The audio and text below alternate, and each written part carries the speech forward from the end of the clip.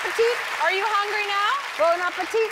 So You that is hungry? that is the song Bon Appetit. Yes. Yes, and that Please enjoy. That song In French. Yes, exactly. Yes. And and I did enjoy. And what is uh, what's the album about, and what is that song about?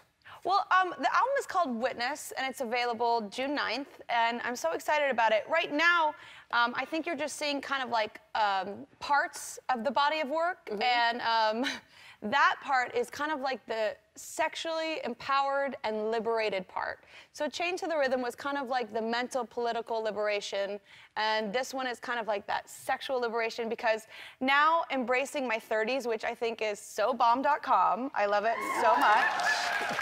I, I love being a woman, and I love, um, you know, a consensual interaction.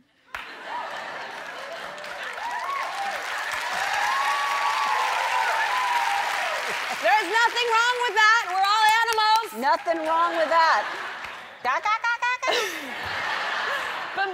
Appetit is really just like a fun kind of like, uh, you know, me. I make these kooky little videos and I always have a laugh along the way and sometimes I pose a question, but most of the time I like to just lift people's spirits. Yeah, it's great, and I can't wait to hear the album because we've been waiting for a long time. So I'm very Yes, excited about it. it will be a full body of work and I'm very pleased and excited for you to see all the fingers and toes and bums in between. Ca- cannot wait to see the fingers and toes and bums. Um, so tell everybody what you're doing. This is very, very cool about your tour, what you're doing with the Girls and Boys Club. Yeah, so I, um, I'm starting a tour first week of September, September 7th. Come and see it. It's called Witness the Tour.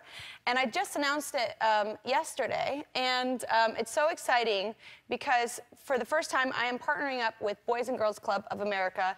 And not only will $1 from each ticket sold in America be donated to a Boys and Girls Club, I have 100 tickets, 50 for Boys and Girls Club, and then 50 for my fans that they can actually earn by signing up to do a medley of different things, one of them becoming a volunteer at a Boys and Girls Club. So if you want, thank you. If you want, if you want the best seats in the house and you don't want to pay like or like babysit for seven weeks for that ticket, you can just go to the Boys and Girls Club, which is literally around the corner in every single city, and sign up there. Go to www.bgca.org slash Katy Perry, and you can make uh, and you can either go and volunteer and you can win a, win a ticket or, or just get involved in your own way. All right, and if you didn't get that, go to our website. You'll get the information. Katy's an amazing performer live, and no one should miss the tour. Thanks to Citibank, everyone in the audience is getting a pair of tickets to see Katie perform at the Staples Center.